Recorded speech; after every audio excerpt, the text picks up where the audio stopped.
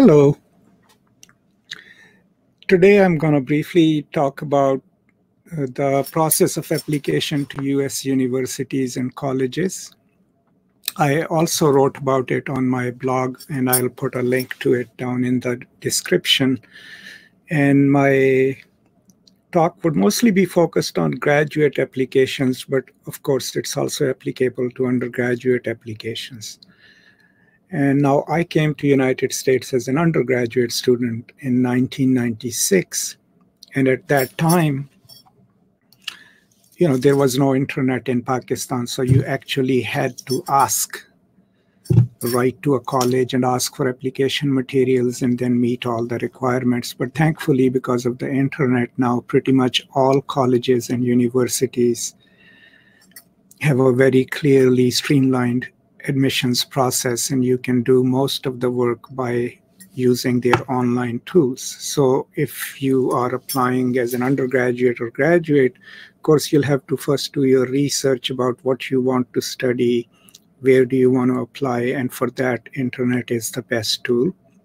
You can also try to see if the local embassy, the US embassy or consulate in your area offers some kind of guidelines or workshops. There could also be some, uh, as you know, department in your own at your own local college or university that could give you some guidelines. But after you've uh, figured out where you want to apply, what are your top colleges, what are your backup colleges, uh, then the best way to do is to go to the particular website of a college and click on admissions link and follow it all the way to international students.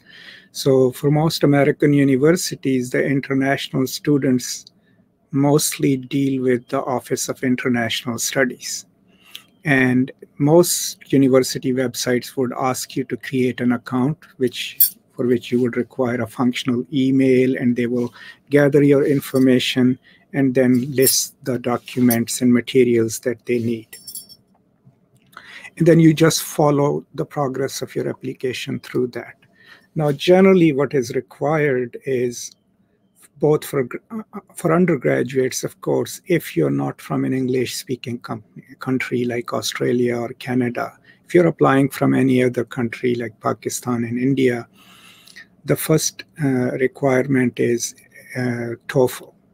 Okay, either a TOEFL score or a test of international English language test. Both are acceptable, but check on the website and see which one is accepted.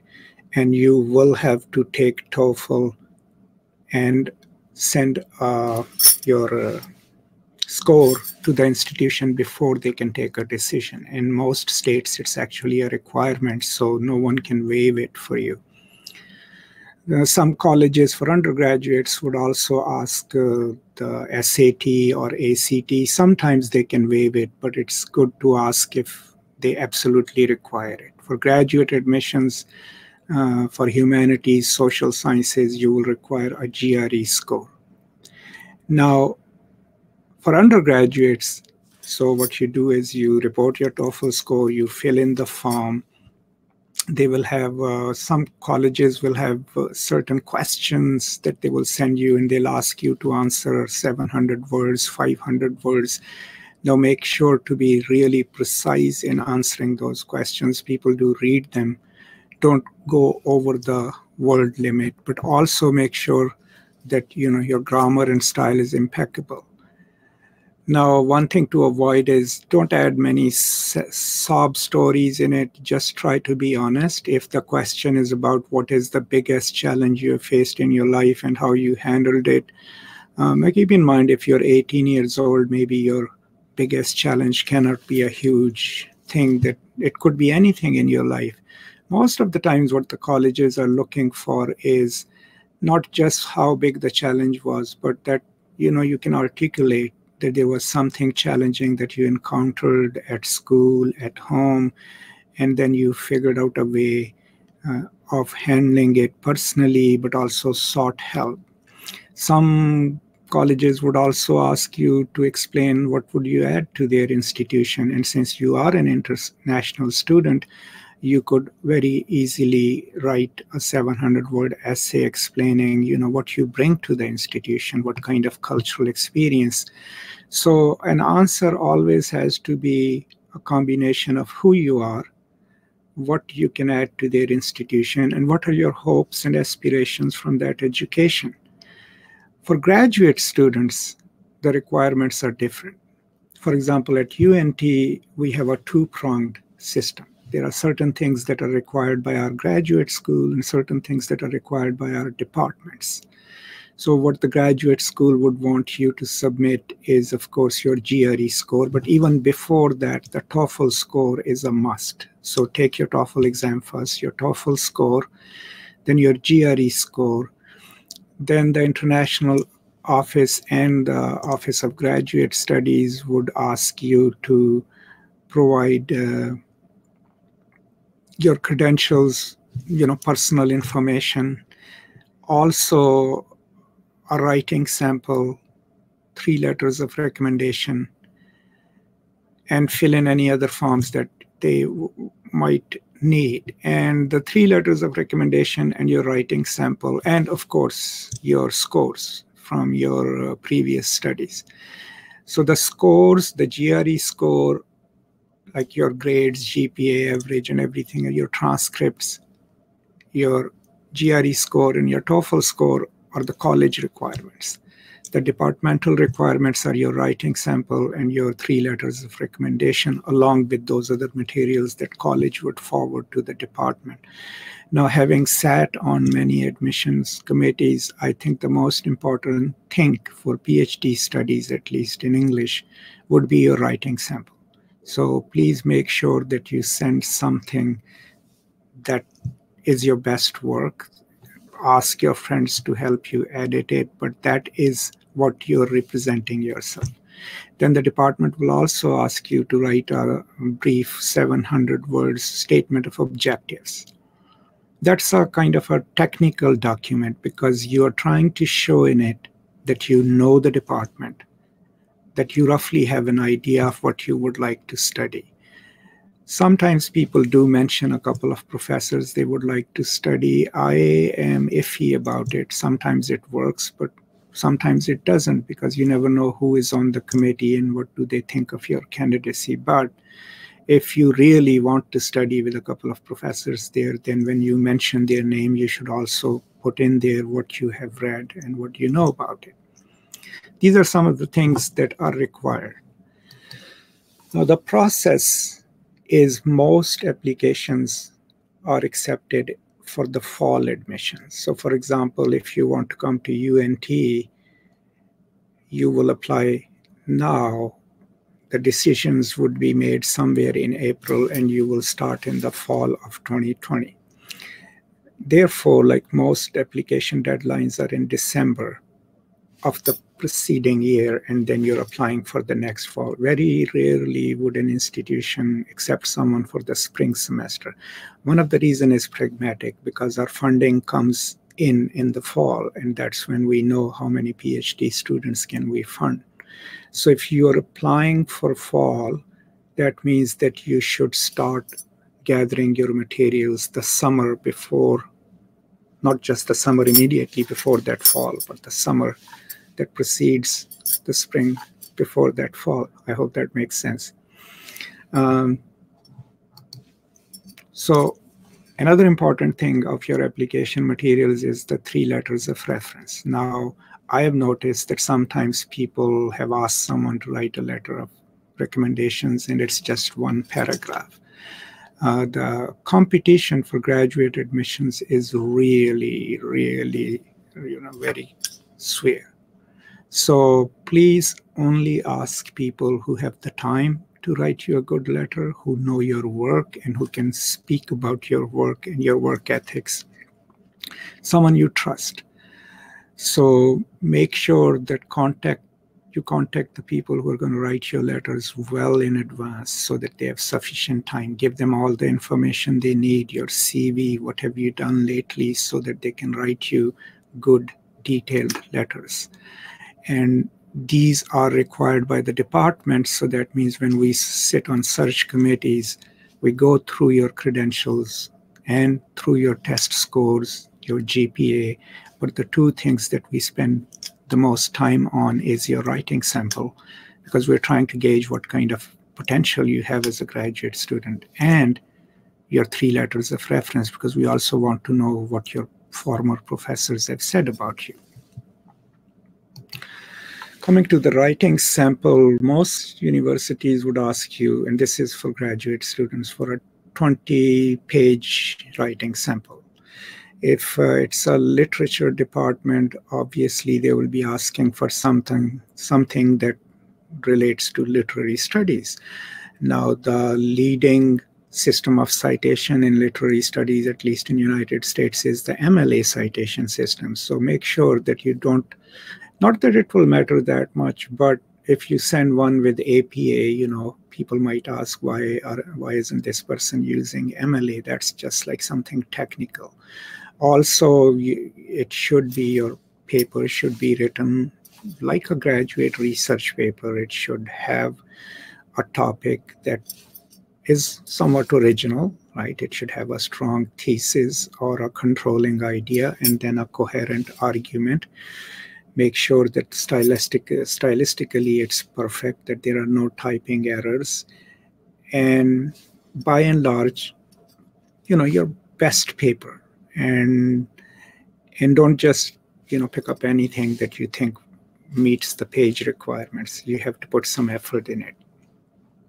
So after you provided all the materials to Graduate Student Studies Office or Office of International Studies. So the, in the first phase, what the Office of International Studies for graduate students or the graduate school does is they check all your documents that they need and they compile that file. And only after you have given them all that they require, your GRE score, right, your TOEFL score, your transcripts, is when they will move your file to the department.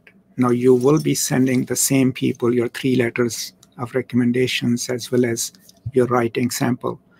But most of the times that can take a little longer, so they will move your file to the department after their requirements are fulfilled. The department, then the committees meet mostly in January of each year, and by about March, is when the departments have decided who are they going to admit in their programs. And beginning of april end of march is when we send out acceptance letters. Now the acceptance letter would stipulate and explain what is being offered to you. Do you get a teaching fellowships or teaching assistantship? What kind of tuition waiver? Um, and based on that you can sometimes write to a department and say, you know, I'm an international student. Is there any way uh, for the first two semesters you reduce my teaching load because you'll be required to teach two courses if you're a teaching fellow or something like that? But most of the times the offers are sent out. Now remember, throughout this process, no one has asked you yet whether or not you can pay, okay? Because we don't factor in the ability to pay in our decision making. I think legally we cannot do that. Now, after you've accepted the offer and written back to the department that yes, you would love to study at, let's say, at UNT, the department will then inform Office of Graduate Studies that this graduate student has accepted, right? Um, then the Office of International Studies will be in touch with you, right? And they will then ask you to prove to them that you have the ability to pay. So you can, you know, refer to them or send them a copy of your acceptance letter in which it says this is what the university would give you in terms of a scholarship.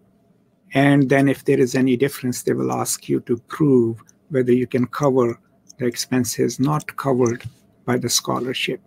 And that's when you will furnish your bank statements or something else that can prove that you can bridge the gap.